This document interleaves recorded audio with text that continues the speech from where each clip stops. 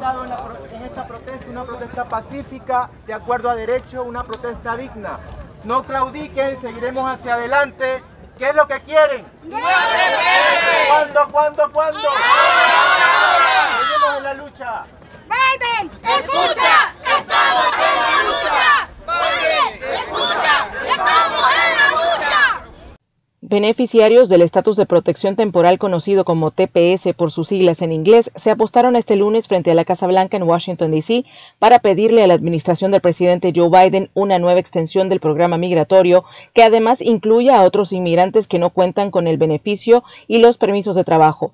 Por ahora el Congreso tiene en sus manos dos propuestas de ley que contemplan opciones para que los tepecianos, dreamers y trabajadores agrícolas puedan optar a procesos de residencia o incluso de ciudadanía en algunos casos. Se prevé que en los últimos días del mes de julio el Congreso retome las discusiones sobre la ley HR6 para votar. Sobre la reforma migratoria prometida por el presidente Biden durante la campaña electoral, analistas y lobistas señalan que aún no cuenta con el apoyo suficiente en el Congreso. Para la prensa gráfica desde Washington, D.C., Carmen Rodríguez.